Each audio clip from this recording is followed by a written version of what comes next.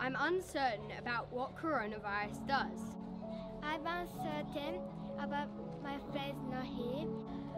I'm uncertain about whether if I have enough toilet paper. I'm uncertain if my grandparents are going to stay okay. I don't know if school's going on. I'm uncertain if Jaffa or church is going to be on.